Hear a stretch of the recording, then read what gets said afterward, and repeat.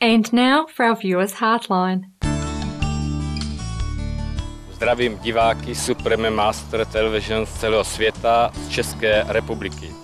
Jmenuji se Jaroslav Škvařil, jsem zakládající předseda České společnosti pro výživu a vegetariánství a asi od roku 84 se svojí ženou děláme kurzy, školení, ukazujeme lidem, jak žít vegetariánsky zdravě.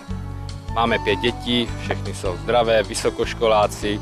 Naše společnost se snaží o to, aby se změnilo stravování i ve školách, mateřských školkách.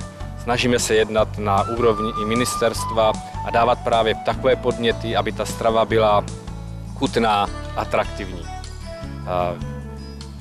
Supreme Master Television používáme dneska informace pro náš web, protože patří mezi nejlepší v současné době ve světě. Takže moc za to děkujeme a držíme palce, ať se vám tato práce daří.